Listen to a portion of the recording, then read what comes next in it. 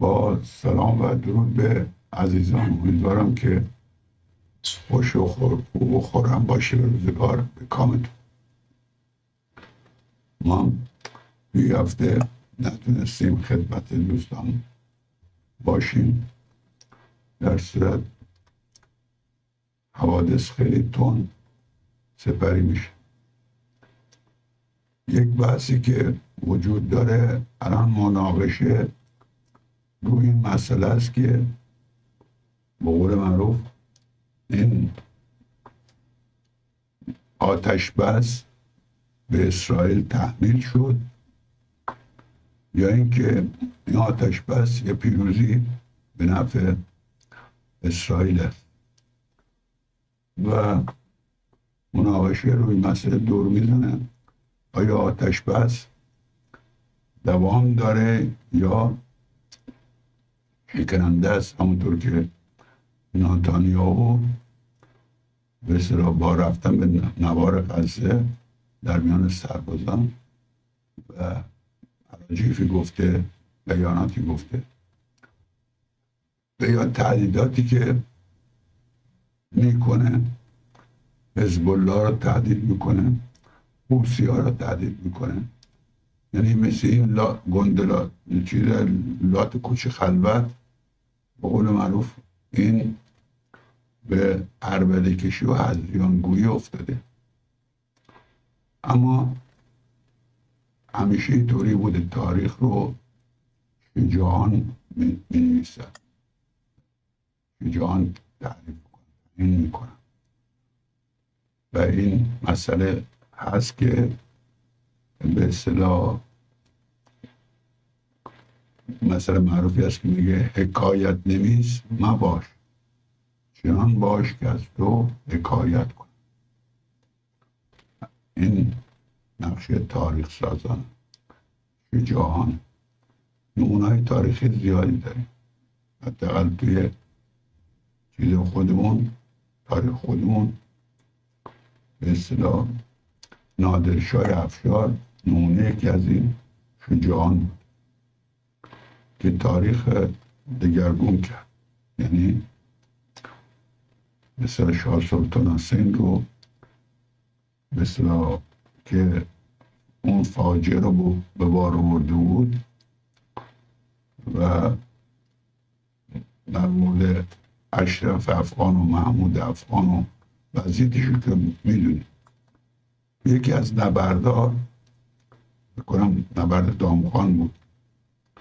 بر بالای تپه ناظر بود و مدیریت می‌کرد جنگ و اونجا دیدی سربازی هست که فردی خیلی شجاعانه می جنگه وقتی که جنگ نبرد تمام شد اینا رفت سراغش. گفت بچه کجایی؟ گفت اصفهان. ترجمهش هم زیاد بود که اصفهانی اینجوری جنگ گفت تو نبرد به اصطلاح که بود در اصفهان تو تو کجا بودی؟ گفت من بودم ولی تو نبودی. یعنی توی سردار لایق نبود که به اصطلاح این رو جنگ و هدایت کن الان هم فلسطینی ها بودن. اسیر به قول معروف یه سری سازشکاران ابو مازن و اختلاسگر و به چیزا افتادن. مثلا اون شجاعتشون تحت تاثیر این حوادث قرار گرفت. و این اینجوری است که مثلا این حوسی های یمن کسی فکر نمی کرد اینها بتونن با اعتلاف عربی عربستان و امارات و و آمریکا و انگلیس و اینا هشت سال دوام بیارن ولی واقعا شجاعانه جنگیدن و تاریخ رو تغییر دادن و سفر رو به نفع خودشون عوض کردن نمونه های زیادی تاریخ هست که شجاعت به صلاح بر اون محافظ کاری عقل محافظه کار غلبه می‌کنه. تو تاریخ معاصر خودمون هم هست. که منظر این تسلیم طلبی عقل مسلحت گرا امریکت خودمون آقای روحانی هم آقای ظریف. ولی عرصه میدان دست بود. دست شخصیت های مثل سلیمانی بود و تاریخ خاورمیانه رو عوض کرد. حالا با این وضعیت می‌بینیم که در قصه چی میگذره. این سوال مطرح میشه که به صلاح این اوباشان که من این سه نفره که می‌بینم آقای ناتانیاهو و آقای گالانت آقای لاپید اینا نمی‌دونم چرا ناخداگاه به سنم می‌رسه که هیتلر و هیملر و گورینگ گوبلز اینا رو ستاره بودم نمی‌دونم چرا یاد چنگیز و چیزا میفتم که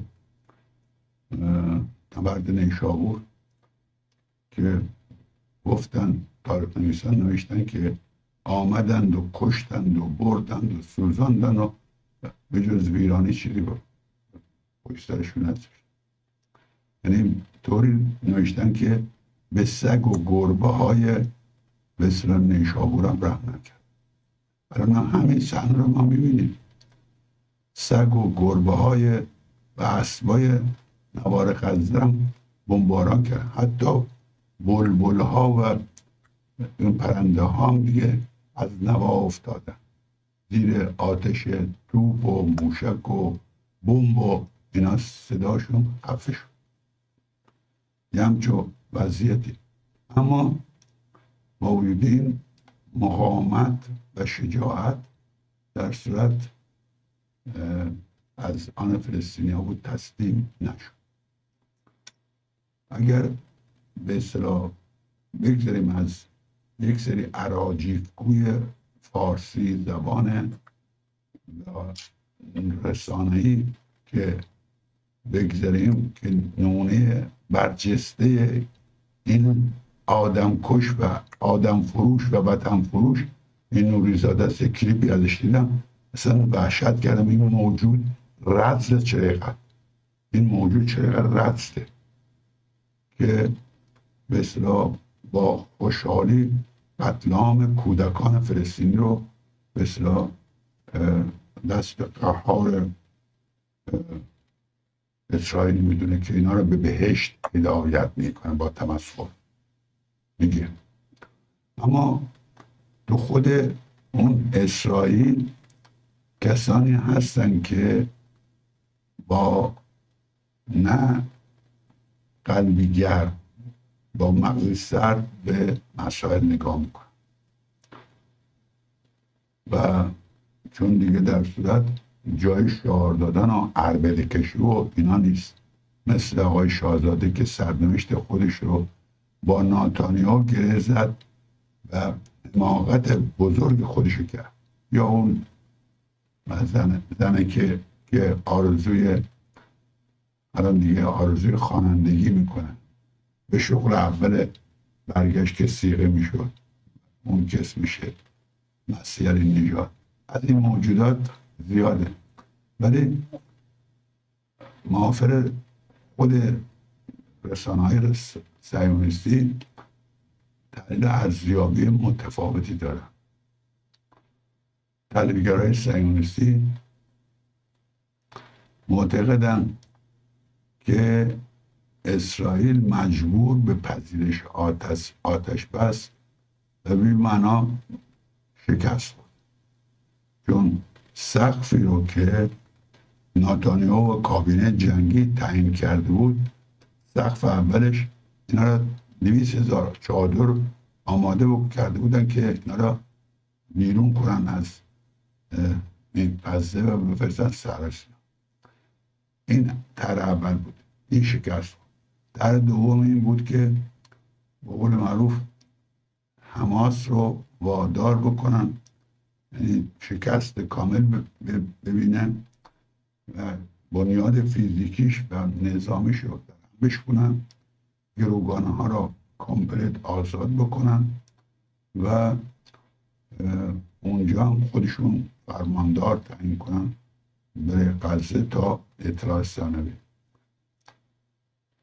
کارگران صهیونیستی با انتقاد از تسلیم شدن کابینه جنگی بنیامین نتانیاهو نخست وزیر رژیم اشغالگر در برابر حماس و پذیرش معامله تبادل اسرار اعلام کرده این اتفاق یک پیروزی برای حماس و فلسطینیاست که علیه اسرائیل عملیات انجام داده.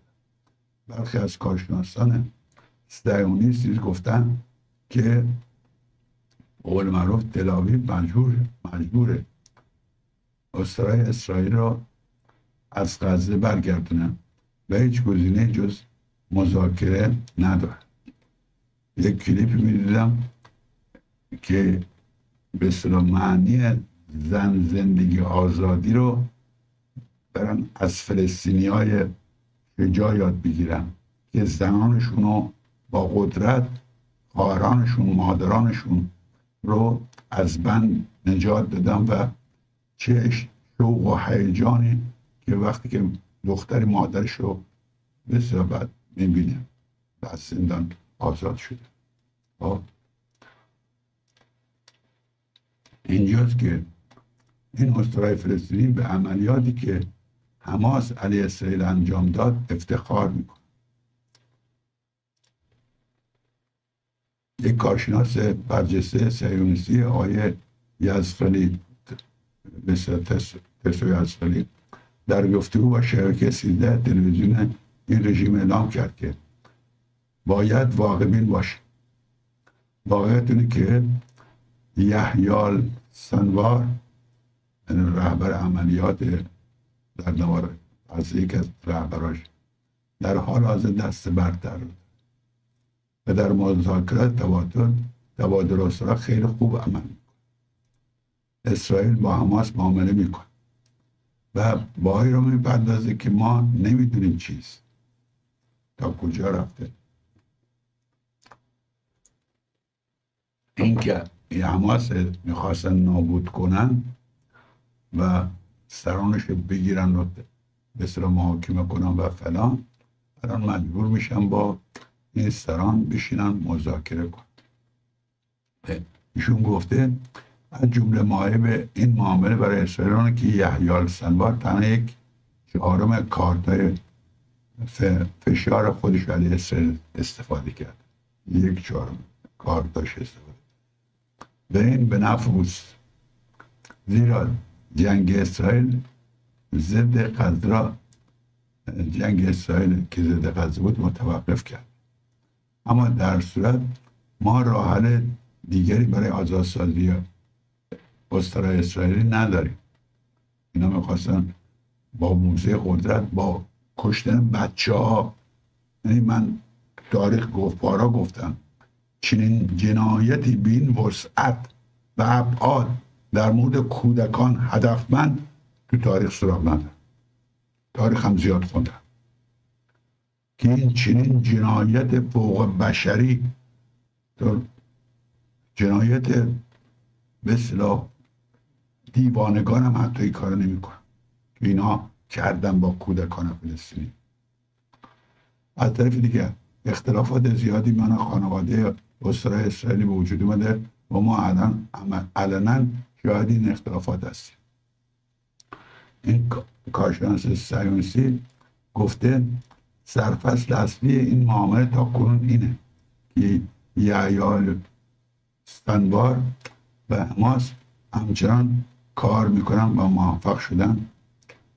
صحبت صحبت درباره جنگ رو به صحبت درباره استرای اسرائیل در داخل اسرائیل و فلسطین اشغالی بکشونن.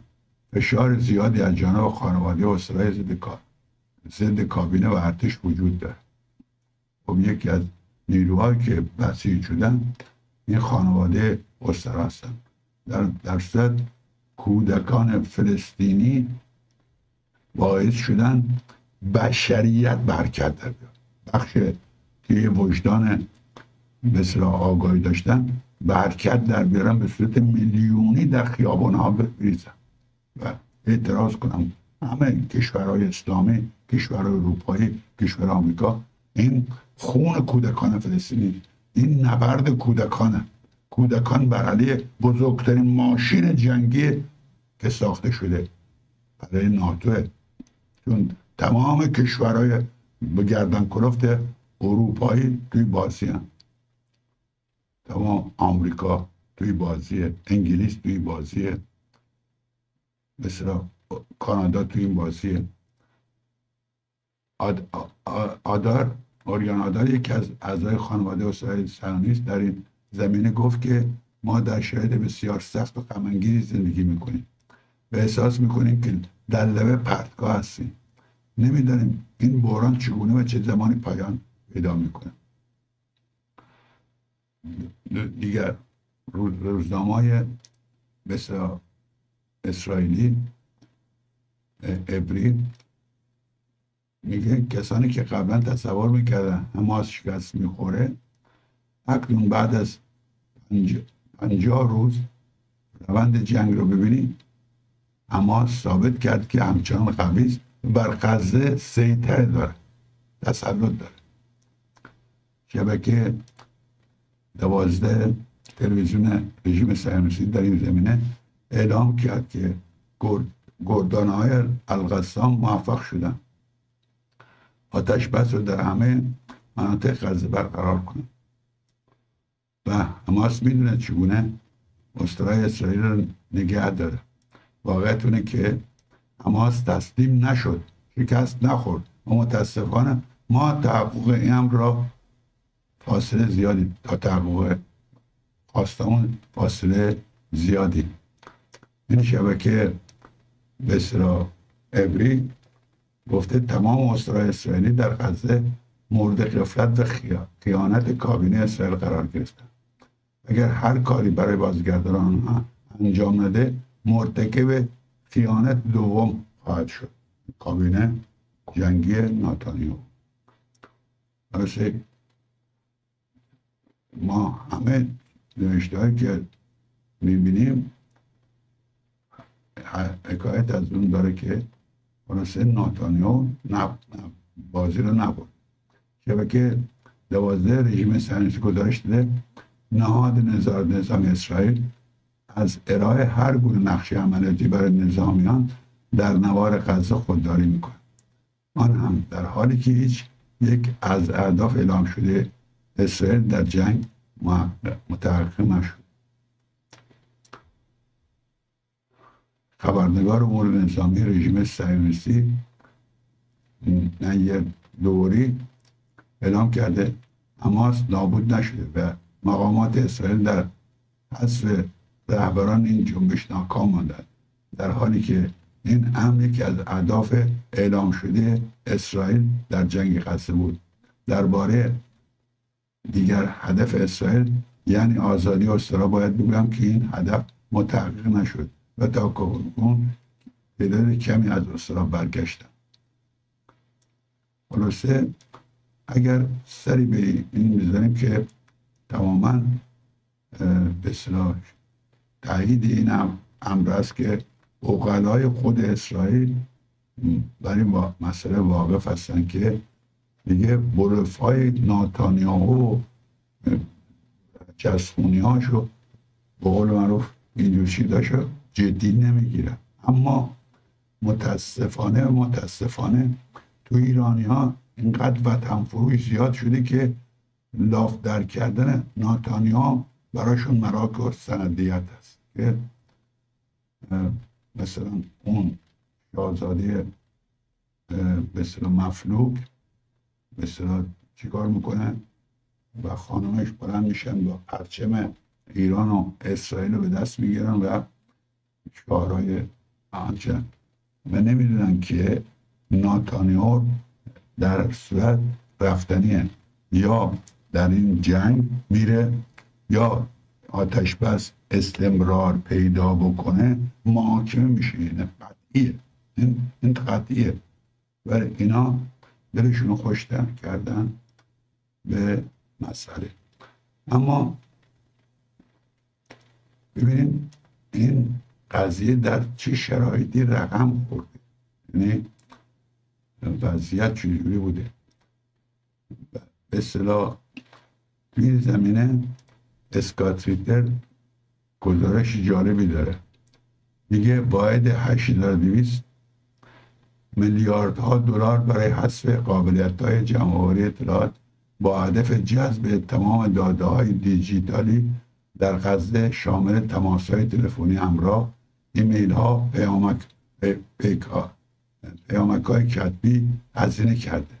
از غزه بیشترین عکس عکس برداری روی زمین به وسیله ماهار انجام شده.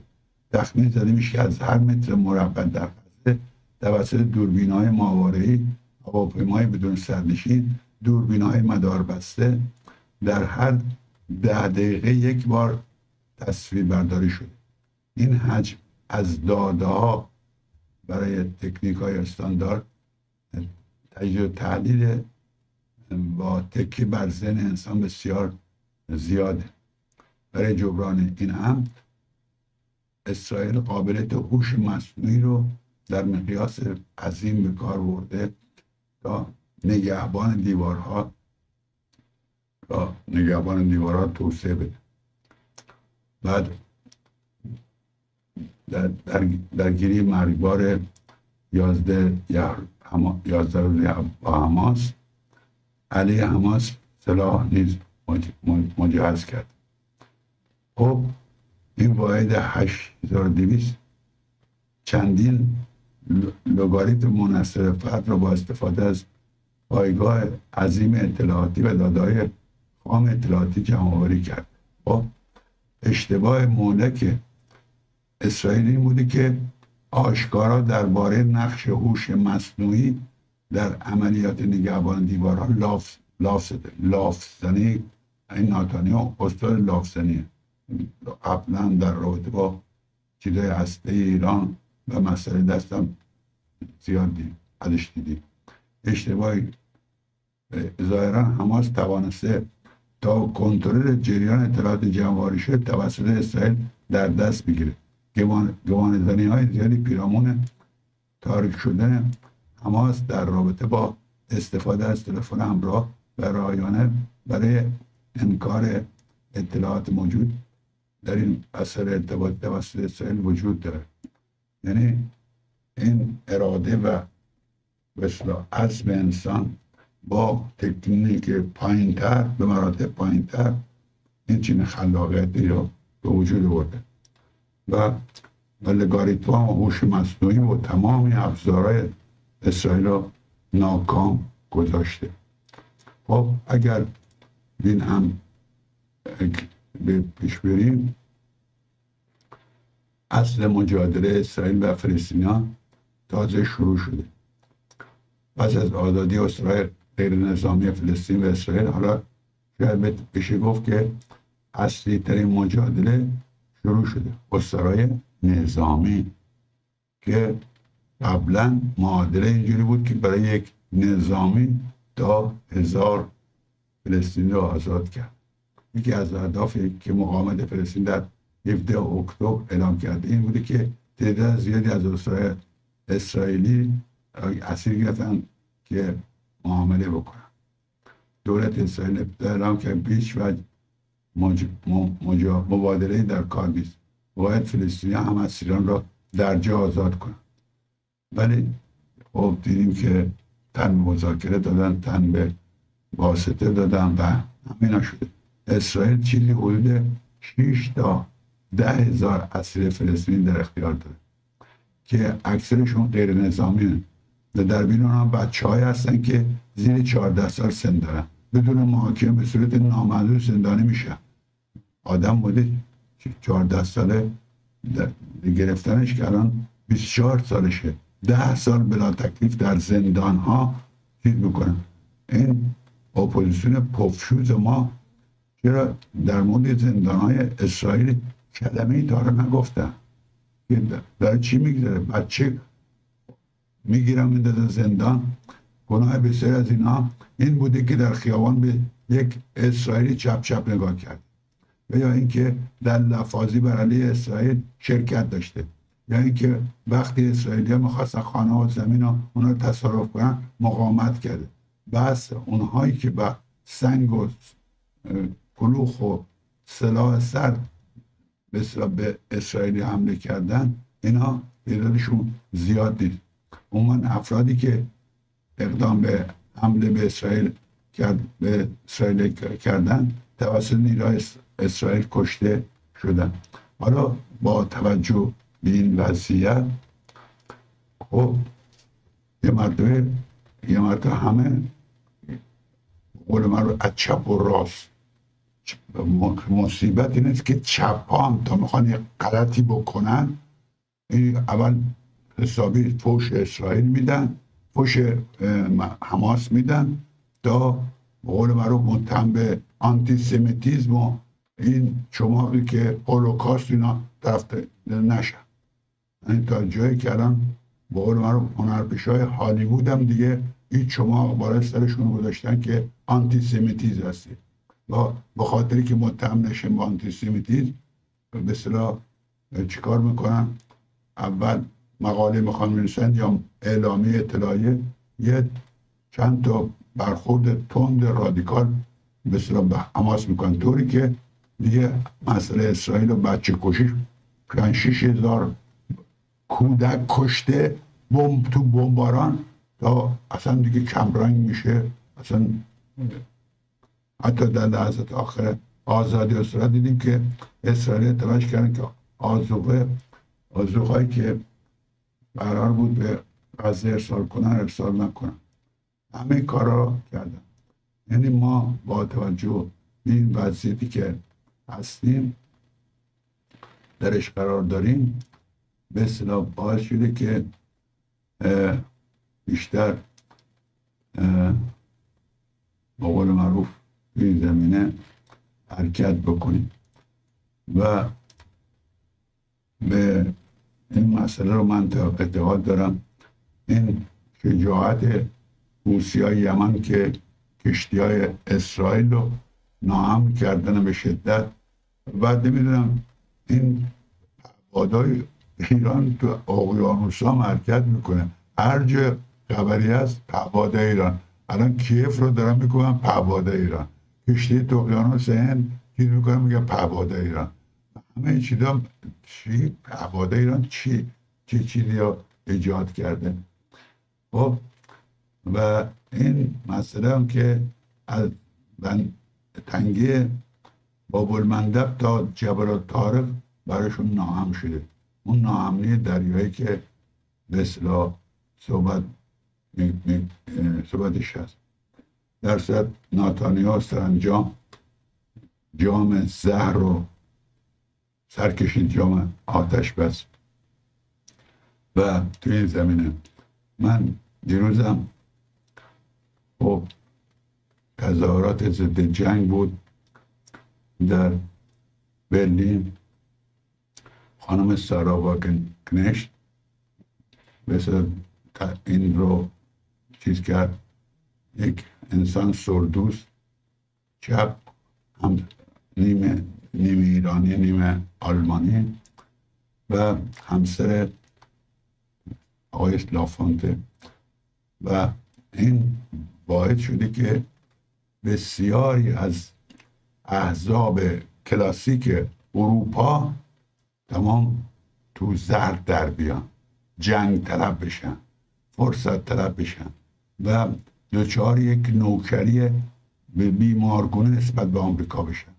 و این باعث شده که حتی چپ آلمان هم بیماری دچار بشه که این خانم عزیز از حزب چپ هم اومد بیرون و حزب مستقلی رو داره درست کنه.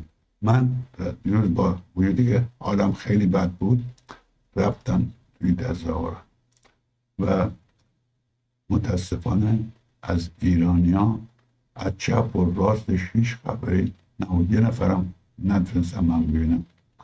و در صورت نتونستم دوامم بیارم و بعدم برگشتم. و یکی از رفقا البته کمک هم می‌کرد.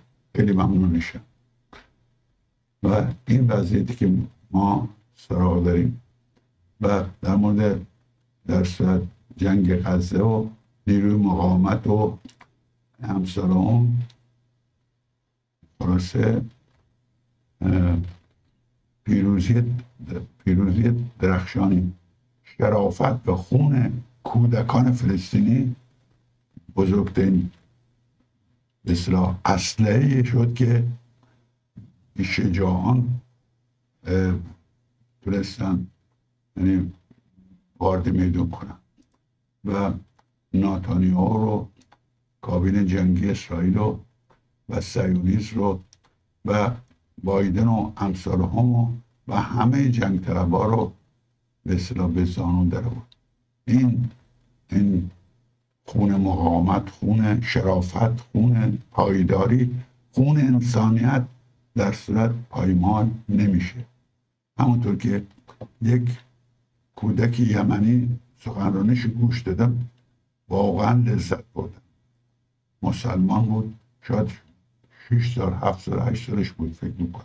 خب؟ چنان با سرابت صحبت می‌کرد سخنرانی می‌کرد که اصلا مو بدن آدم راست میشه. که اینا از نسل شجاعانن از نسل چی این از کجا در آمدن؟ نسل زد ما میگن نسل زد با قول معروف میان توی استادیوم عراجیف میگن استادیوم ورزشی ولی مردم یمن که مظهر دلاوری و شجاعتن با قول معروف اصلاح حماسه آفری می‌کنن رفیق تنها نمی‌ذارن و یار دوران سختی هستن. جناب آقای سلیمانی رسیم نفس بند من. ولی مطلب خیلی زیاده. ما این هم موافق هستی شما چگونه می‌بینید اوضاع پیش آمده رو؟ در خدمتتون هست با سلام خدمت شما و مخاطبین گرامی. امروز یک شنبه 5 آذر 1402 1426 نوامبر 2023 به نام خدا. ببینید اسرائیل از حمله زمینی سه هدف اصلی داشت. هدف سه هدف اصلی چی بود؟ یکی نابودی کامل حماس در غزه. دومیش چی بود؟ کوچ دادن اجباری مردم غزه به صحرای سینا. و این پولی که 20 میلیارد 12 میلیارد 20 میلیارد 25 میلیارد میگن که با سیسی صحبت کرده بودن که مثلا این پول بدن و اینا رو کوچ بدن. اونجا اول مقیم درست کنن به قول عرب یعنی خیمه بزنن. شهرهای خیمه ای رو میگن مقیم. بعد اینا رو بیارن اونجا کوچ بدن. و آزادسازی اسرا بود. بدونی که خون از دماغ مثلا هیچ اسیری در بیاد و اینا همه رو ما می‌زنیم نابود می‌کنیم. این کار انجام. هر ستاشو شکست خوردن. و الان شما می‌بینی واقعا درود بر ملت غزه درود بر ملت فلسطین. در این چهار روزی که اینا این آتش بس شروع کردن تمام اونایی که اسرائیل به زور از خونه و کاشانهشون در شمال غزه رانده بود دارن برمیگردن دوره به شمال غزه. با پای پیاده با گاری با هر چی وسیله دستشونه. اسرائیل هم داره هنوز که میگن آتش بسه چند نفر کشته که دارن برمیگردن اون وقت چون سربازاشون همه نرفتن از غزه بیرون. کلا وقتی می‌بینی یه میگن خشت اول گر نهد معمار کرد تا سریا می‌رود دیوار کرد. این برنامه کشور یهودی درست کردن بر روی مردمان دیگری که اونجا وجود داشتن. ببینید مردم منطقه بعد از سایسپیکو اینا همه تحت حمایه بریتانیا و فرانسه بودن. خب اون کشورهای دیگه به آزادی خودشون رسیدن. مثلا استقلالی پیدا کردن. آزادی که چه کنم اردن از روز اول در دست اینا بوده و کنترلش می‌کردن. سوریه دست اینا بود کنترلش می‌کردن تا کودتا شد. عراق هم ولی هیچ موقع حق ملت فلسطین و سرزمینشون به استقلال نرسید. در صورت که اینا یه استانی بودن یه بخشی بودن از عثمانی و با هم بفتن یهودی مسلمان مسیحی با هم زندگی می‌کردن بدون هیچ ناراحتی. هیچ اشکالی هم نبود. هر یهودی می‌خواست بیاد زیارت کنه بره بیاد. هیچ ایرادی ازش نمی‌گرفتن ویزا می‌گرفتن میادم می‌رفتم. از دولت انگلیس تا موقعی دست انگلیس بود. دیدیم ویزاهای مثلا خود افرادی دیدیم حتی گلنامه خود گفت من یک فلسطینی بودم تا 1940 بعد اونا اومدن با شدت دادن. و اینی که اینجا اصلا مال ما بوده. در صورتی اولی که اینا رو وردن اصلا این حرفا نبود. به اینا گفتن اگر شما در اروپا بمونید که منفور اروپایی هستین کشته میشین. بعد اینجا بریم. بنگوریان و کسای دیگه اومدن اول رفتن ماداگاسکار. بعد رفتن کشورهای آفریقایی مثل سودان و اوگاندا. الان من داشتم به برنامه میدم از داگ که گفت من با جنرال اسرائیلی صحبت کردم گفت اگه ما از اول رفتیم ماداگاسکار چقدر ما خوشحال بودیم چقدر زندگیمون خوب بود. ما نه با کسی درگیری داشتیم یه کشور یه منطقه رو با ماداگاسکار صحبت کردیم که به ما بدن ما اونجا ملت خودمون بریم اونجا و هیچ درگیری نشدیم ولی یک سخنرانی بوش بایدن در 1986 در کنگره آمریکا کرد. و گفت اگر اسرائیلی نبود ما اسرائیلی میساختیم. اون یک جمله رو مردم یادشونه. بریم ببینیم باقی اون سخنرانی چی بوده. میگه اون خیلی مهمه برای اینکه با بتونیم کنترل بر منطقه بکنیم. منظورش این بود که بعد از اینکه حکومت شاه ایران از بین رفت اون سه محور اصلی شمالی شرقیش که ایران بود. عربستان بود و اسرائیل برای کنترل آبراها کنترل نفت منطقه که پیدا شده بود. از روز اول هم اصلا اعلامیه بلفور بر همون پای پیدایش نفت بود بیشتر از همه. ما دیگه ایران از دست دادیم. اسرائیل الان اهمیتش خیلی بیشتر شده. و اگه اسرائیل کمک نکنیم در کنار سوئز و بابل منده و تاره دیگه کنترل کامل منطقه دست ما میره. ولی فقط اون یه تیکه رو مردم میشنوند. اون بقیه سخنرانیش من شنیدم این, این, حالت رو داشت. و حالا چی میگه؟ الان سخنرانی بایدن من میشنفتم شنیدم درباره همین آزادی اسرا و اونا آزادی فلسطینی رو میگن زندانی اینا رو میگن اسیر گروگان. هرچی. در صورت هرچی می‌خوام بگم. اصلا درباره فلسطینیان حرفی نزد. اینا که آزاد شدن. فقط گفت اینا آزاد شدن و بعد این کاری که حماس کرده برای اینکه پیمان ابراهیم دیگه داشته نقاط مهمش چیز می‌شده. عربستان دیگه میومده به ما میپیوسته به اسرائیل و اینا به خاطر دو منظور این کار کردن. یکی که اون آبراه و کریدور هند به امارات به عربستان به اسرائیل به اردن به یونان از بین بره. و یکی هم این پیمان ابراهیم پیگیری نشه عربستان که مثلا شاه موقع این عرب بوده خادمین حرمین شریفین که چه ارز کنم چی بهشون بگم چون الان مثلا فستیوال سگ آورد. بله فستیوال سگ آورد. فستیوال سگ. هفته بعد خانم و اینا کنسرت چی میگم رقص آواز از اروپا آورده بودن. اصلا بعد اینا رو ما وضع کنیم این این کاری که حماس کرد اومد جلوی صلح منطقه ای رو بگیره آقا به قول قدیمه گفته دی که برای من نمیجوشه برای سگ بجوشه. خب خودشون امنیت ندارن کشور ندارن. گذاشتیمشون توی یک کمپ مثل نازی های دوم زندان سرباز. از 16 سال پیش تا حالا اینا نمی‌تونن خارج بشن وارد بشن. باید ویزا بگیرن برن تو اسرائیل و اجازه داشته باشن برن تو اسرائیل. بچه‌هاشون مریض میشه می‌خوان از رفت رد کنن بره مصر. بعد ویزا بگیرن از اسرائیل که اینا رو برن بیرون. نه اینا می‌تونن کاری داشته باشن. شما اومدین مزارع اینا رو نابود کردید درخت زیتون اینا رو نابود کردید همین الان داشتم تو الجزیره میخوندم. در ساحل غربی از ماه اوت که در جنین شروع بلوگی شد اینا اومدن چیکار کردن؟ الان این شهر نشینا رفتن مزارع این فلسطینیا رو. یا آتیش می‌زنن یا نمی‌ذارن کار کنن یا زیتوناشون رو میدوزن یا درختاش رو از بین می‌برن و کنده های اصل من عکس فیلم دارن که آتیش زدن. و می‌ذارن زیر پست خب این مردم باید چجوری زندگی کنن؟ اینجا زمین اینا بوده سرزمین اینا بوده. دو هزار سال پیش شما رفتین از این دنیا. یونانی ها شما رو بردن بیرون. اینا, اینا که گناهی نداشتن. داشتیم با اینا زندگی می‌کردیم. 60 هزار تا شما اینجا بودین.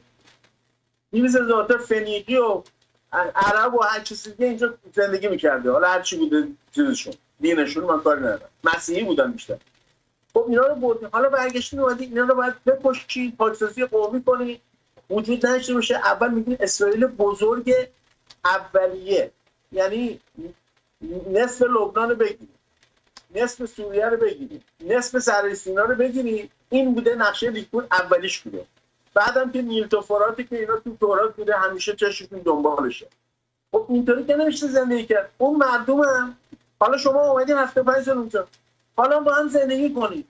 یا دو کشور بکنید یک کشور بکنید همه حقوق بچشن شما نمی‌تونید که یک کشور بکنید اونم هر طوری من می‌خوام بکنم. حتی فلسطینی عربی که اسرائیلی شده پاسپورت اسرائیلی داره سی تا تبصره داره واسه حقوقش برابر شما نیست که. وقتی پاسپورت عرب عرب اسرائیلی هم پاسپورت اسرائیلی دارن. اونا هم حقوق شما رو ندارن. بعدم شما میاد خونه زندگی اینا رو می‌گیرید نابود می‌کنید خب این واقعا شکسته. اصلا کجا دنیا این همه حرف از سیستم دو کشوری می‌زد؟ چین روسیه خود آمریکا دارن چپ رو میگن. یعنی چیزی که اول اینا به خوابشون نمی اومد. اومد و اولین بارم کی گفت از بعد نه؟ هیچ مسلمونی نگفت. خود آریال شلون و لیکود و آقای نتانیاهو دنبالش گرفت. از به تا نه تا به. اینا خودشون گفتن. بله حالا میگین فلسطینیا گفتن. نه با خودتون گفتین. خب اونا می‌خواست چی بگن؟ اونا میگن دیگه. وقت شما اینو میگید بعد مشکلاتی که اینا دارن اینه که داشتیم صحبت میگردیم راجع به از هزار و از جنگ 67 اسرائیلیا حمایت اصلیشون رفت طرف آمریکا. اینا چیکار کردن؟ اومدن که تو جامعه آمریکا نفوذ کنن تمام موقع که دستشون درنشون می‌رسید. یا بورسی های خوب آمریکا بهشون داد تمام دانشجوهاشون اومدن تو آمریکا تو دانشگاه آمریکا. همین نتانیاهو بزرگ شده فیلادلفیاست یعنی دبیرستانش تو فیلادلفیا آمریکا رفته. دانشگاهش هم تو MIT و هاروارد رفته که با هم دیگه دریان دوتاشو دستمون فوق لیسانس گرفته. برگشت رفته اسرائیل. اینا اومدن رفتن. و چیکار کردن؟ مردم آمریکا رو ترغیب کردن که با اینا رفت آمد کنن. ما ما از شما هستیم ما تنها کشوری هستیم که اونجا دموکراسی داریم. فقط با این تو منطقه ما مثل شما سفیدیم. در که فلسطینی یهودی اصلی سفید نبودن همه که. یهودی فلسطینی هم بوده همونجا زندگی می‌کردن این عربه بوده قیافت رنگشون. بله. اینا اومدن از اول بر پایه نجات پرستی این برنامه درست کردن. چون نتانیاهو مرتب اومده رفته کسان دیگه هم همینطور. هی فرزندانش فرستادن بعد اومدن به آمریکایی‌ها گفتن که بیان تو دانشگاه های ما. حالا دانشگاه درست کردن اونجا. من خودم خیلی می‌شناسم یهودی های آمریکایی که بچه‌هاش رفتن اونجا درس خوندن. بعد میگردن میان. خب اینا علاقه پیدا می‌کنن وابستگی پیدا می‌کنن. ولی با این کاری که نتانیاهو کرد با, با این جنگ غزه تمام اون اباحت و تمام اون انکاس بین رفت. چون مردم ببین هر آمریکایی هم که اگه مخالف مثلا فلسطینی میشه اون بچه داره زن داره نوه داره. اینا دارن اینا قربانی می‌کنن همه رو.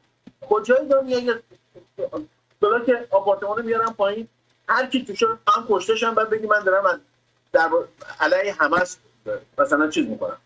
و علیه حماس من دارم جنگ می‌کنم می‌خواد اینا رو بین ببرم. پس اینا تمام اینا نخنما شده کسی دیگه اینا رو قبول نداره. و این مشکلی که اینا دارن اومدن گفتن زیر بیمارستان شفا اینا سیستم تونل و فرماندهی داشتن. اهود براک اومد تو تلویزیون آمریکا باش مصاحبه کردن. گفت اینجا رو ما ساختیم موقع که غزه دست ما بود ما خودمون سیستم تونل و اینا رو درست کرده بودیم واسه کنترل. خودمون اونجا سفر اونجا درست کرده بودن که اگر مصر حمله کرد بله. از این شبکه ها بتونن کار خود استفاده کن حالا و اینا این اینا بلوف خوردن و در این زمینه. اینا گفتن خب همچی تحصیلاتی که محکم و استوار هست.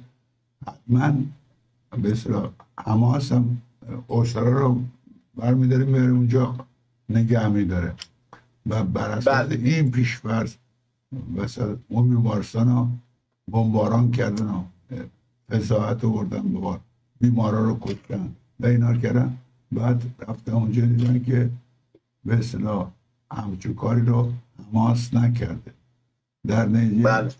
تی- تیرشون به سنگ خورده با آبروریزی سنگینی براشون بود- به وجود اومده. گرچه به اصطلاح فیلم درست کردن فلان کردن و نمایش دادن اینا همش به قول معروف خالی بندی بوده. میفرمونید ببینید دست خودشون رو میشه دیگه. می مثلا براک اومد اینو گفت. بعد کسایی دیگه اینا رفتن. مثلا یه برنامه تلویزیونی نشون داد داشتن فاطمی نشون می‌دادن که یه چند تا دیگه از این فلسطینی حماس در رفتن از غزه اومدن بیرون غزه دوره ریختن توی شهرهایی که مثلا می‌خوان کسی رو بگیرن. بعد نشون دادن یارو رو لختش کردن فقط یه شورت باشه. بعد دوربین تلویزیون روشن بود. دیدن که اینا گفتن خطر رفت شد و دوربین تلویزیون فاکس هم دوره اومد نشون می‌داد. یه دفعه یارو دیدن شلوار پاش کرد دیگه چشش چی نیست رفت. گفت تلویزیون قطع کن فهمیدن خودشون این صحنه سازی بوده دوره این صحنه سازی ها اصلا دیگه کار نمی‌کنه. شما اومدین گفتید ما یک تونل سیستم تونلی و یک سیستم فرماندهی مثلا عالی در دست می‌گیریم وقتی هیچی پیدا نکردیم وقتی دنیا دیگه صداش در اومد. دیگه تظاهرات میلیونی تو آمریکا تو لندن تو آلمان جای دیگه شد و همه مردم دنیا بالاخره انسانن. ممکنه طرفدار اسرائیل میشن بالاخره انسانن. متوجه شدن که این سیستم یه کار نمی‌کنه. این سیستم جنگیه که بعد از جنگ جهانی دوم پیروزمندان جنگ غربیا به غیر از پیروزمندی که شوروی اولین خسارتش داد و 7 میلیون کشته که کنارش گشتن تمام این غربیا رفتن پشت اسرائیل چون منافع استعماریشون رو حفظ می‌کنه. پایگاهی درست کردن. اون ملت 4 میلیون تا 1967 یهودی هم که بردن اونا هم گروگان همین استعمارگران. حالا به هر چی به اینا تفهیم کردن که شما باید بیاین اینجا. این اینجا یهودیان رو بعدشون میاد شما بیاین اینجا. خب اینا اینا گیر افتادن و این کارکرد نداره. اینا تمرین کرده بودن. با سرخپوستان آمریکا کردن با استرالیا کردن با جای دیگه اونا عقبه نداشتن. ولی اینجا دوروبر شما پر هم پیشان و هم ملیت این فلسطینی هست. و این شکست مفتزه برای اسرائیل که گفته آتش بسی نخواهد بود و من این تا نابودی کامل حماس این کار انجام میدم. حالا خودشون دارن میگن. من نمیگم خودشون مرشاینر کسایی دیگه دارن میگن پیش بینی اینه که حد اکثر هزار تا از این جنگیان سی هزار تا از حماس ده هزار تا از چیز اسلامی مقاومت اسلامی جهاد اسلامی کلا این چهل هزار تا ده هزار تا ممکنه کشته شده باشن نه هزار تا ممکنه کشته شده خب هزار تا چه دو درصدشونه. چیز دو درصد نمیاد این چیزی کاری انجام نمیده. تازه اونا قبول نکردن که هزار تا کشته. اینا میگن ماکسیموم ما فکر کنیم هزار تا کشته شده باشن. و سیستم های اصلی تونل هم پیدا نکردن. یه دریچه تونل یه جا پیدا کردن. یا خودشون عکس ساختن. که این این بوده اینا. و حماس هم چرا باز گروگانا رو نگه دوم؟ چون اون آز و قصود که قول داده بودن نمی اومد متوقف کرد. تا باقیش اومد تا اون اونا رو تحویل داد. و به قول شما همین چیز نظامی تحویل داده نشده. اون 19 اولیه که ما می‌دونیم 8 تاش فیلیپینی و 11 تاش بکنن فیلیپینی و تایلندی بودن که دولت ایران هم کمک کرده بود که اینا آزاد شدن دولت تایلند از ایران خواسته بود. امیر عبداللهیان هم. با قطر صحبت کردن که اینا رو مثلا کمک کنن اینا که اصلا کارگرن. اینا هم که می‌دونیم چرا آوردن اونجا. واسه اینکه دیگه فلسطینیا رو که یک سوم اینا پول می‌دادن از غزه و جای دیگه وارد نکنن که اینا زندگیشون هر روز بدتر بشه خودشون کوچ کنن برن. اینا کوچ اجباری از 1947 48 که شروع شد اول 750 هزار بیرون کردن. باقی را انقدر وقت زندگی سخت کردن که یه رو دوون بیارن. رفتن مصر رفتن اردن رفتن جای دیگه آمریکا اروپا هرچی و اینا نقشهشون چی بود؟ مثلا یه سری رو استرالیا بگیره. یه سری رو جایی که ما غزه رو بگیره تمام این غزه رو اگر هم نکشتن مثلا بگن ما جای خوب اینا رو تو جای دیگه بردیم. کشورهای دیگه بردیم بهشون زندگی دادیم. مثلا اینا زندگی کنن. شما می‌خواین پاکسازی قومی کنید. نظرتون این بوده تا حالا که سعی کردیم بکنید همه پاکسازی نشده و جواب نمیده.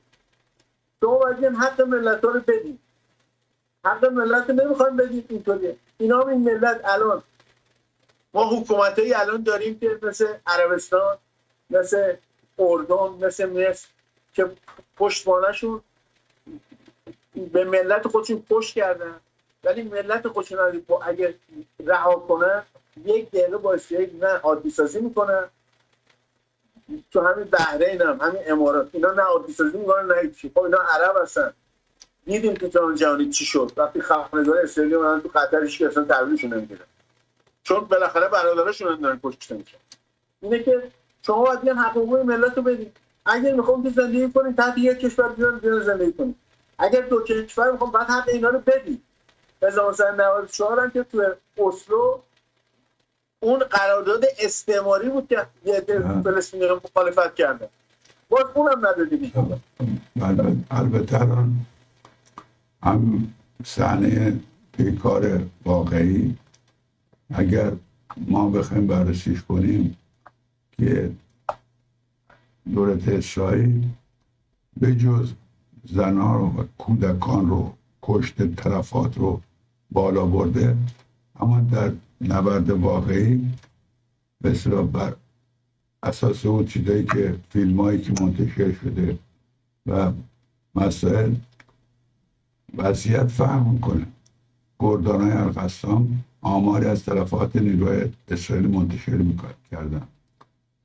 با آمار رسمی ارتش اسرائیل اسرائیل تفاوت داره واید الدوری دلگر نظامی شبکه الجزیره و افسر بازنشسته ارتش اردن بر اساس تصاویر ماوارعی آمار گردان القسام را تا حدود زیادی تایید می‌کنه اون میگه که از آغاز جنگ زمینی حداقل 300 خودروی نظامی و حدودا 4000 نیروی ارتش اسرائیل کشته شدن. اسکات ریترم در دیگر سابقه سیایه وضعیت ارتش اسرائیل رو خیلی خوب توصیف نکرده. او گفته که اکثر نیروهای اسرائیل تجربه جنگی ندارن. و در اینا در روستاها و اردوگاه پرندگان در کرانه باختری را تجربه کسب کردن. جایی که دشمنان آنها عمدتا نوجوانان غیر مسلح بودن. از زمان عقب نشینی در سال 2005 ارتش اسرائیل در غزه حضور نداره. خیلی تکمیلی های خیلی زیاد. شناخت از, از اون منطقه ندارم. واقعیت کاملا متفاوت از اون چیزی انتظار میرم اسرائیل اسرائیلیان لیاقت سختی و یعنی کار رو ندارن. برغم نظارت گسترده سرویس های مخفی اسرائیل پرواز پرواز هوادار بر فراز هر گوش از نوار غزه دارن آموزش عملیات توفان الاقصا را اسرائیل از آن بویی نبرده بوده. در این وضعیت رو ما داریم. و از طرف دیگه الان حامیان اسرائیل وضعیت بدی پیدا کردن. حامیان جنگ اوکراین وضعیت بدی پیدا کردن. الان متاسفانه به دلیل ضعف نیروهای چپ و عدم تشخیص درستشون در اروپا و اعضاب کلاسیک و سنتی هم که مثلا در آلمان سوسیال دموکرات ها سبزا و اینجور جریانات دچار انحراف اساسی شدن. یک نوع زدگی از عذاب سنتی به وجود اومده و فشار اقتصادی هم شدیدن به اصلاح عمل می‌کنه. هر کس در ماه اخیر در هر ایستگاه قطار یک شهر چشم خودش به جلوی فقر اجتماعی نبسته باشه از این مشکلات آگاه انجمن کاریابی ملی آلمان اکنون این مشاهدات رو با اعداد مطرح می‌کنه. درصد آلمان بزرگترین پشتیبان جنگ اوکراین و توی این جریان اسرائیل هم سنگ تمام برای اسرائیل گذاشته. حدود پنجاه هزار نفر در آلمان در خیابان زندگی می‌کنن. یعنی اون چیزی رویایی که قبلا بود در مورد اروپا و آلمان اینا داره بر برباد میره. این معادل جمعیت هم در بادن ورتنبورگ هستش. یک شهر کامل زیر پر در ورودی ساختمان ها چادر زدن. با این حال فقط حدود ده درصد از بیمسکن هاست. به حساب در خیابان زندگی کنن. بسیاری از آنها در قامتگاه ساکن هستند یا در خانه دوستان آشنایان میخوابند در سال 2022 بیش از 600 هزار نفر بی خانمان بودند تقریبا جمعیت معادل جمعیت شهر لابزی این یک چهارم آنها کودک بودند بخش عمده از خانواده بی خانمان در اقامتگاه استرالی زندگی می‌کنند اقامتگاه استرالی که معنای زندگی در چند متر مربع زندگی می‌کنند و وضعیت باری که حتی اون زمان هم کسی توجهی بود نکرد روزنامه روزنکه مدیر عامل بواگ میگه تورم افزایش یافته. از اینها افزایش یافته. اجاره با افزایش یافته. خانواره ها کم درآمد تحت فشار هستن. این هم منجر به فقر میشه. فقر انرژی. بدهی ها اجاره ها را از دست مسکر چیز می‌گیره. گروه آسیب پذیر میشه. خانواده های تک نفره که درآمد اونا زنان سرپست خانواده و زوجه های پرجمعیت هستن و در صورت این وضعیت است که بنیاد این بنیاد بنیاد بنیانگذار بنیاد مارکوس زایده از سی و هزار کودک به نوجوان بی خانمان پنهان یا آشکار خبر میده. و این وضعیتی است که این جنگ ها جنگ اوکراین و هزینه های سنگین جنگ غزه جنگ اسرائیل و هزینه های سنگینش این وضعیت رو در آلمان وجود دارده در همه اروپا. و همین دلیل خطر یعنی و بارها گفتم که خطر راست افراطی کاملا مشهوده. یک مرتبه هم ظاهر میشن. مثلا در هلند کاملا مشهور یک عنصری به در انتخابات برده که اندیشه های فاشیستی واقعا ضد خارجی ضد اسلام حراس و اینا اومده.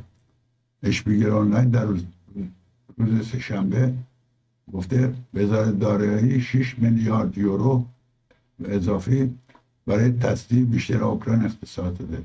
این بودجه خارجی از بودجه کل دولت در یک صندوق ویژه قرار می‌گیره که هیچ وزارتخانه نظارت نداره.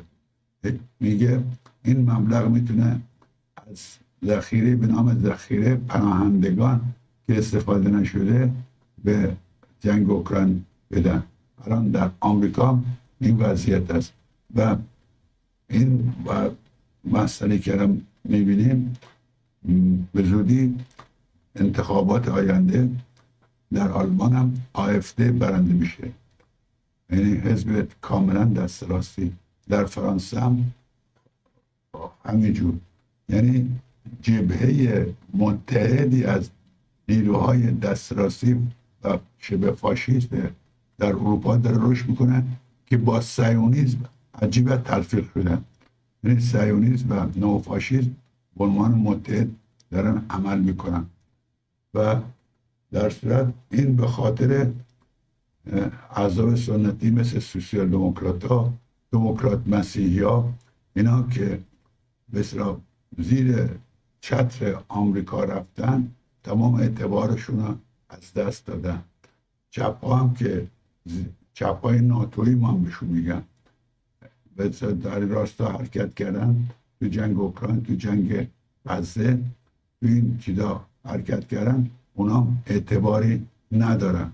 و در نتیجه صحنه کاملا خالی است که این جماعت به طرف راست افراطی برن. و افزایش بودجه نظامی تو سرسامر بدهی های ویژه برای ارتش وجود برده که هیچ دولتی اعترافی تردید نداره که این مسیر بدون تردید ادامه پیدا می‌کنه. و این وضعیتی است که ما شاهدش هستیم در مورد خود ایران هم بسیار این احزاب در اپوزیسیون تماما گرفتار این موضوع شدن. برخشون در جنگ اوکراین موضع فوقالعاده فاشیستی گرفتن با زلنسکی رفتن در دسته آزوفا رفتن حمایت کردن. در داخل خارج اونا گرفتار این مسئله هستن. و, به خود در جنگ غزه هم دیگه تتمه اون آبروشون هم به باد دادن. کسانی که برای کاهش فقر تلاش می‌کنن مانند روزنکه و زایده باید بدانن که دولت ائتلافی به طور زمین توافق اجتماعی را فصل کرده. هنوز درس از شورش ها جلوی اونا اونا عمل می‌کنه یعنی به وضعیتی کاملا بسیار شکننده در اروپا است که هر حادثه ممکنه یک انفجار وجود بیاره یک حرکت عظیم وجود بیاره یک دیگرگیستی وجود بیاره. چون در نقطه اجتماع در نقطه انفجاری خودش گرفته. مثلا دیروز رفته بودم اونجا تظاهرات پلیس پلیس سراسیمه بود. با جستجو کردن میگم تظاهرات که آرومه میگه معلوم نیست آروم باشه. ممکنه یک لحظه اتفاقی بیفته و همه چی از کنترل خارج بشه. این وضعیتی است که اون جوامع اروپایی باش گرفتار هستن و آمریکا فکر نمی کنم بهتر از این باشه میگم همچون وضعیتی رو به اصطلاح تجربه می‌کنیم و میفرمودید آیا شما این وضعیت رو می‌بینید یا نه؟ ببینید اوضاع آمریکا دوری شده. الان کسانی که همیشه با حزب دموکرات بودن چه جوانای حزب دموکرات و چه جوانای حزب جمهوری خواهی همیشه با اسرائیل بودن الان برای اولین بار اکثریت جوانان دیگه رفتن بر علیه اسرائیل. چون می‌بینن که اسرائیل بدون هیچ در نظر گرفتن زن بچه کودک همه رو می‌کشه میگه این دفاع مشروع از خدا دفاع مشروع در خود قوانینی که غربی ها آوردن تو دادگاه نورنبرگ و اینا چیز کردن بعد گفتن مثلا دفاع نسبی من اگه برم ببینم یه نفر یه فرمانده حماسم خیلی مهمه. توی کمپ آوارگانه ده هزار نفر دور یار که نمی‌تونم بزنم همه کم بکشم که یه نفر رو بگیرم. بعد اسرائیل میگه که مثلا ما جبالیه رو دو بار زدیم. بمبای مثلا 250 کیلویی 6 دفعه 6 تا یه دفعه 6 تا یه بار چون دو سه تا نماینده مثلا مامور حماس یا عضو حماس که این کم بودن. خب شما هر دفعه 300 نفر کشتین. اصلا دادگاه نورنبرگ خودش خود غربی ها قبول کردن که این کار نباید بشه. چون آلمانی این کار می‌کردن اینا در بودن که کسی دیگه این کار نکن حالا خودتون داریم میکن پس دست و بال شما یک کشور هستین که با قدرت اقتصادی نظامی سیاسی آمریکا هر کاری بخواید می‌کنید. چون وجود شما برای امپریالیستا یک موهبت موهبت الهی شده. موهبت الهی نیست. به اون حالت در یعنی شما اینقدر شما رو درست کردن پایگاه هستین براشون. هر جا بخوان میان میرن به کنترل منطقه دارن و دست بال شما رو هم باز گشتن حالا با تمام این تفاصیل شما نگاه می‌کنید دولت اسرائیل انقدر کسری بودجه آورده؟ 48 میلیارد دلار اوراق قرضه شروع کرده به فروختن. چون 48 میلیارد دلار تا الان بهش خسارت خورده با وجود 200 میلیارد دلار ذخیره ارزی. صادرات شدید بوده صادرات نیست. واردات فقط شده به غذا و چیزای دیگه که خیلی مهمه. نه برای ساخت و ساز کارخونه ها بسته شدن. کارخونه هایی که در جنوب بودن یا در شمال بودن جنس تولید می‌کنن اینو صادر کنن خب بسته شدن. مردم آدم وسط کشور. خب با این همه شما 200 میلیارد دلار ذخیره ارزی یک چهارم این پول بره اونم تا الان حساب می‌کنه انقدر خسارت خورده توریست که اصلا کمپله در بین رفته هیچ توریستی وارد نمیشه. این مشکلات بخشی که بخشی که شاورزیش هم بله. کارگرا. صادرات داشتن همون کشاورزی دیگه. اونم صادرات هم ندارن. چون میفرستن اروپا. و این مشکلی که ایجاد شده باید اورا قرضه بفشیم پس میگن که آمریکا همه اینو میده. نه آمریکا 14 میلیارد دلار. دولت آمریکا خواسته مجلس 14 و 3 میلیارد دلار. هنوز مجلس تایید نکرده. به احتمال زیاد تایید می‌کنه. ولی باز با 48 میلیارد دلار خیلی فرق می‌کنه. و این پولی که از دست میره چقدر طول می‌کشه اینا برگرده به جای نرمالش؟ یعنی شهرک نشینای جنوب برگردن. شهرک نشینای شمال برگردن. این کشور دوره اقتصادش را بیفته. توریست برگرده. خب توریست که بر نمیگرده وقتی 300 هزار نفر اسرائیلی تا الان گفته خودشون دو, دو تابعیت خارج شدن که اینا می‌دونن. حالا کسای دیگه هم رفتن شاید نمی‌دونن.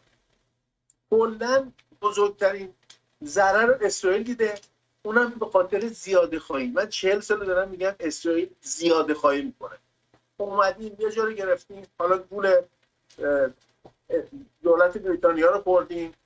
اعلامیه بلفور رو خوردیم یا بزرگان یهود رو خوردیم. هر چی بوده. شما ملت که اومدین اونجا.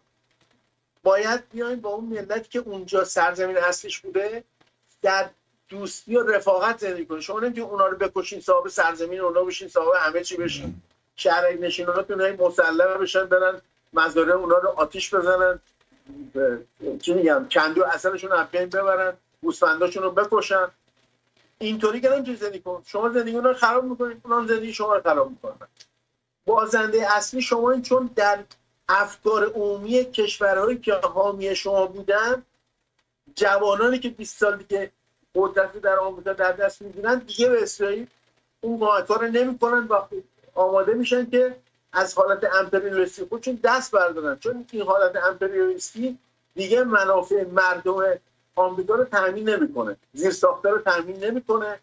این پولایی که میره واسه حمایت امپریالیست حمایت دادن اسرائیل جای دیگه و میلیتاریست باعث این میشه که جای سرسانور تا سالی دو تریلیون دلار یه تریلیون تقریبا مال بودجه نظامی دفاعی یه تریلیون خرج خارجی مثلا 900 تا پایگاه خارج.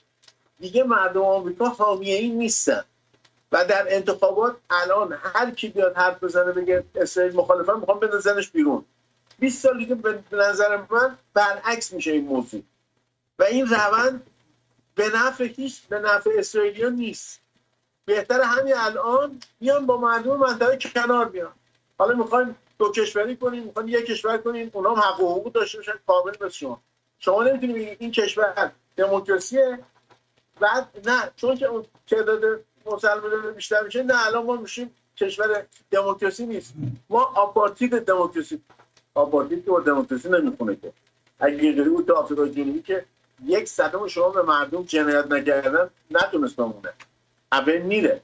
شما دیر و زود پایدار نخواهید بود و کشورها هم چقدر می‌تونن کمک می‌کنن؟ شما عمق استراتژیک ندارید. کشور خیلی کوچیک جمعیتتون خیلی کم و دوروبرتون حمایت مردمی نده و بهتر با مردم منطقه کنار. البته الان مبرمترین مسئله تداوم آتش بس. یعنی باید تمام کشورها مردم روی آتش بس تکیه کنن. عنوان مثال وزیر خارجه فرانسه تبدیل شدن وقفه جنگی که چهار روزه است در غزه به آتش بس دائم باید تبدیل بشه. این حداقل فرانسویان گذار اینو خواستن. وزارت خارجه فرانسه روز جمعه خواستار تبدیل شدن وقفه چهار روزه به آتش بس دامید گزارش الجزایر وزارت خارجه فرانسه در بیانیه تصریح کرد که وقفه آتش بس بایستی تداوم پیدا کنه همین دیروز که به اصطلاح هزاران تظاهر کنن در برلین به بودن که در براندنبورگ تور یا در واسه براندنبورگ تظاهرات کردن. اونا هم خسته ازشون آتش بس بوده. بارسلون روابط با اسرائیل رو تعلیق کرده. خواسته این مثلا مردم فرانسه شورای شهر بارسلون روز جمعه به خط روابط با رژیم صهیونیستی به خاطر آتش بس نایی در غزه تظاهرات یعنی تعلیق کرد. در آفریقای جنوبی هم روابط دیپلماتیکش کاملا با اسرائیل قطع کرد و آن آتش بس در چیز شد. از مثلا از قول واشنگتن بود به جنایت اسرائیل در غزه پایان داده میشه. روزنامه آمریکای واشنگتن پست با اسلام به جنایت وحشیگری اسرائیل در غزه نوشت. بحران انسانی در غزه روز به روز در میشه اوضاع. چون مقامات سازمان ملل هم درباره افزایش تلفات گرسنگی بیماری هایی که این منطقه را تهدید می‌کنه هشدار دادن. با گزارش روز چهارشنبه واشنگتن پست با اشاره به بیانیه اسرائیل در این زمینه هشدار داد. شبکه اسرائیلی کان ارتش اسرائیل عملا در غزه در حال شکست خوردن. سناتور آمریکایی ادامه بمباران غزه رو خطای فاحش راهبردی و اخلاقی دونسته نماینده مجلس سنای آمریکا آغاز مجدد بمباران غزه از سوی اسرائیل خطای فاحش راهبردی و اخلاقی توصیف کرد. البته یه چیزی که در این عملیات غزه و اسرائیل روشن شد نشون داد به طرز چیزی که این همام هنجارها قوانین تمام اخلاقیات تمام اینها زیر پا گذاشته شده و اینا واقعا به مفهوم واقعی جنایتکار جنگی هم. و اینا به قول معروف با نام حقوق بشر در تمام کشورها مداخلات بشر دوستانه کردن و, دموکراسی صادر کردن به قول خودشون. ولی آبروی اینا برده شد. یعنی دیگه هیچ کس باور نمی‌کنه که اینا به اصطلاح به این گفتارها آیبندن که تو تنها کشور خاورمیانه مثلا دموکرات فران از این یاوه که خیلی از این گروه های اپوزیسیون هم ورد زبانشون خانم الیزابت وارن نماینده دموکرات ایالت ماساچوست در مجلس آمریکا از راهبرد نظامی بنیامین نتانیاهو نخست اسرائیل به شدت انتقاد کرد. و رابرد نظام اسرائیل باعث ایجاد فاجعه انسانی و مرگ هزاران غیر نظامی در غزه شده و ثبات منطقه در دراز مدت به خطر افتاده و مفصل چیز کرده در صورت به این زمینه به اصطلاح ایستاده. و خودت هم گفتی آقای السیسی از کوچ اجباری کوچاندن اجباری مردم از غزه به مصر گفته خط قرمز ماست و این رو چیز نمی 1600 تا نظام اسرائیل هم تا کنون در جنگ غزه دچار معلولیت شدن. و کاملا این موج جهانی است که راه باید این تداوم پیدا کنه. یعنی باید هر انسان شرافتمندی که وجدان خفته و نیم خفته داره یا شرافتش احیا شده نسبت به این مسئله بی تفاوت نباشه. و ما ایرانیان به قول مرا تو این زمینه به کاملا مسئولیم و یا میبایست به عنوان جریانی که سال 57 پیش قراول به انقلابات و تحولات در منطقه شدیم و موج فکری انقلاب 57 همینطور گسترده هر انقلابی بزرگی مثل انقلاب فرانسه اندیشاش همینطور گسترش پیدا کرد. انقلاب اکتبر همینجور انقلاباتی هستن که بزرگ هستن. موج تفکراتش منتقل میشه به کشورهای دیگه و و ما هم توی زمینه نقش داشتیم. و امیدوارم که بتونیم به وظایف و رسالت انسانی خودمون علا میهنی خودمون بس عمل بکنیم و بیراستا کوشش بکنیم. و خوشبختانه در یمن ملت به شدت مسئولیت پذیری هستن و اینکه ناوگان آمریکا و ناوگان هیچی ابزارها نمیترسونشون در خوشبختانه همونطور که هماسیات در سال قرد غربی رو این همه برتری تکنولوژی که اسرائیل اینها رو فرج نکرد و تسلیم بکنن و به قول من رو برای مقابله با اون اندیشیدن و عمل کردن. عملشون هم جانگیر شد. و تمام پرونده فلسطین رو که هفتاد و پنج سال خاک می‌خورد دوباره رو میز جهانیان برده که دیگه الان همه کشورها حاضرن روی مسئله دو دولت بحث و مذاکره کنن. میفرمودید راجب فرانسه شما صحبت کردید فرانسه که همیشه روی اعراب خیلی نظر داشته. بعد, بعد از جنگ 67 دیگه کمک اصلی به اسرائیل نکرد.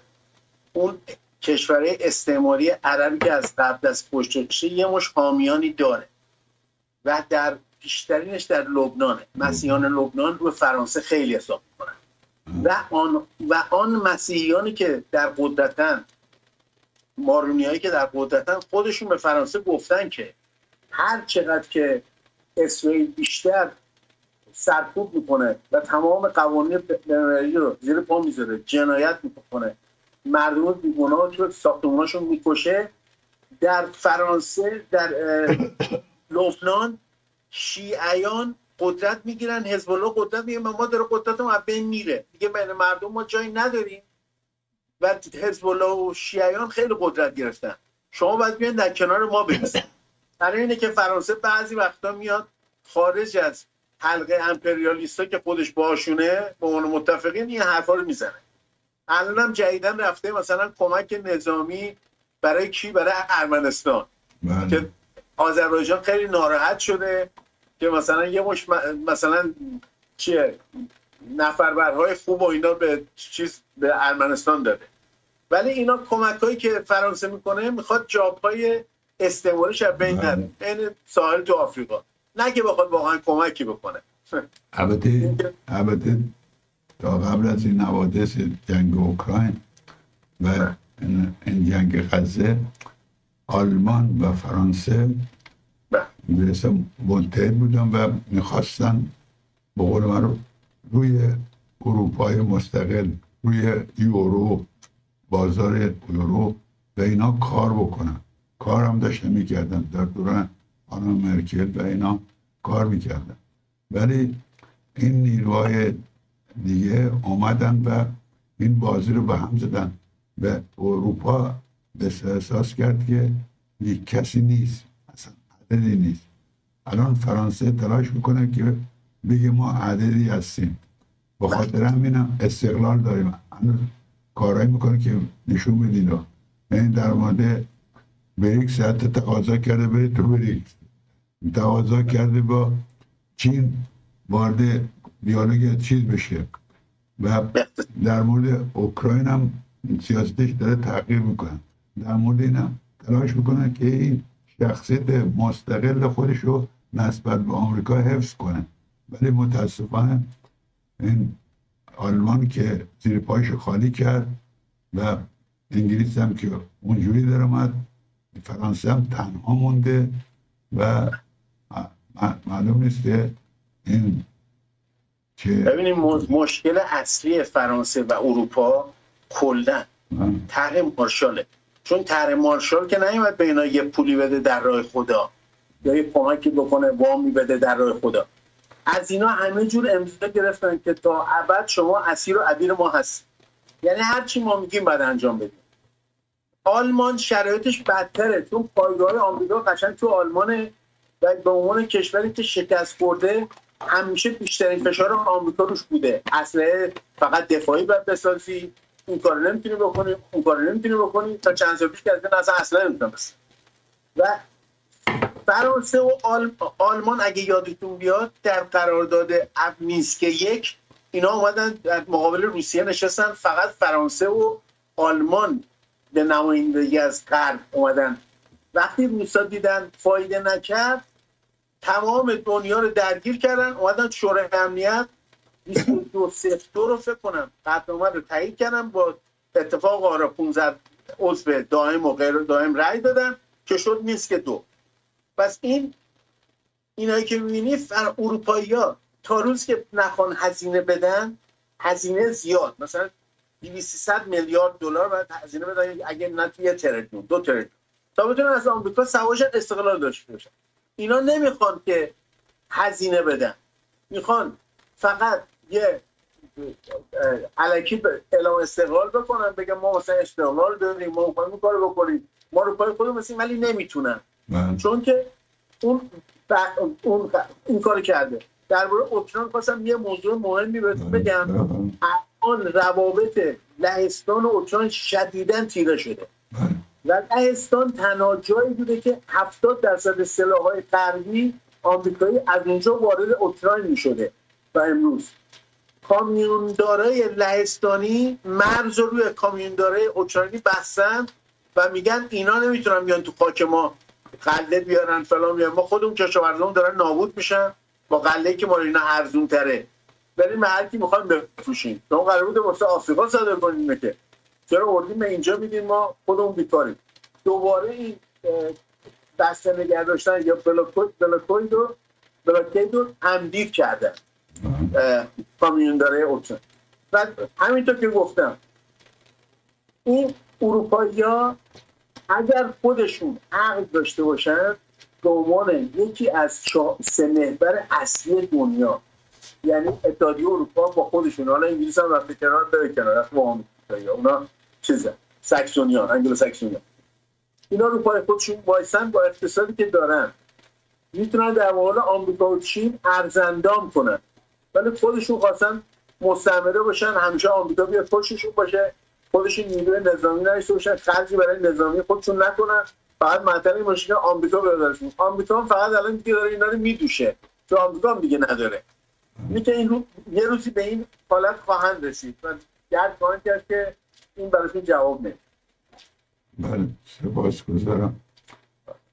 توی زمین در صورت مسئله به وجود داره که استراتژی جهانی آمریکا با آتش بس خزه عوض نمیشه که اون رقابت با چین و اون خط اندیان چیز را به اصطلاح اسرائیل رو که می‌خواستن بکشن این بیشتر خواست آمریکا بود به خاطر مختل کردن جاده ابریشم به هند رو در مقابل چین علم کردن بود که بسیار روی از کامل.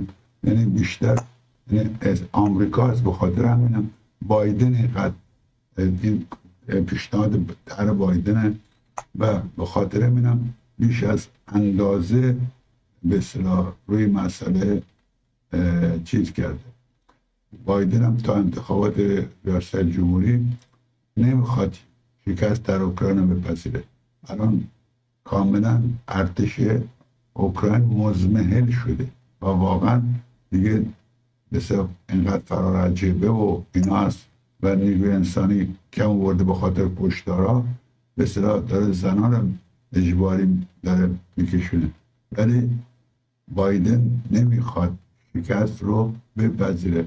می‌خواد تا انتخابات لفتش بده طولش بده تا این وضعیت بسیار چیز بشه. اعلام شکست رو نمی‌خواد اعلام کنه. بله. شکست رو گفته و در آخرین سفر وزیر دفاع آمریکا به اوکراین نشون داد که شکست رو پذیرفتن.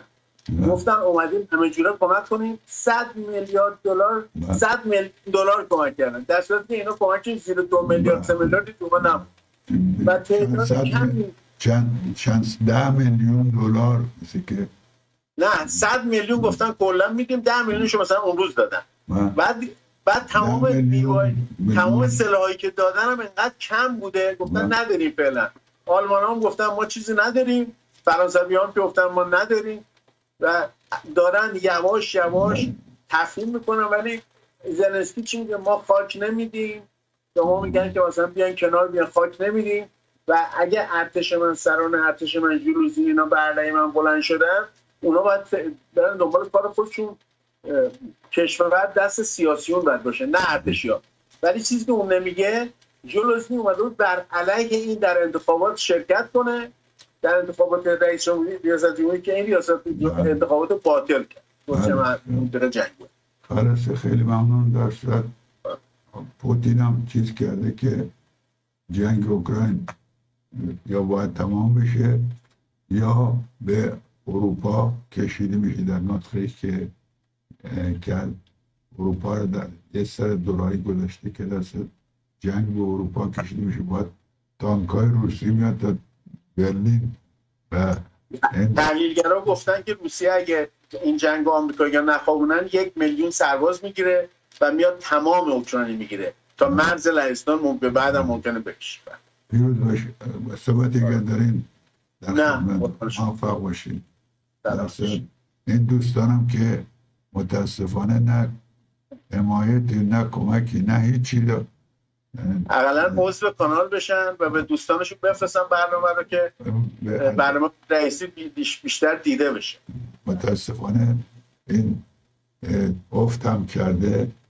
به خاطر مشکلات من بیماری من به اینا.